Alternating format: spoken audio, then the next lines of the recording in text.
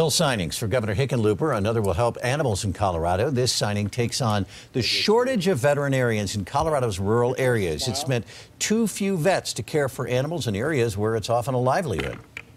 There's so many places in rural Colorado that have been asking for additional veterinarians, and we know that the student debt on average is about $140,000. And this bill helps tremendously being able to um, set up shop for these young veterinarians in rural areas.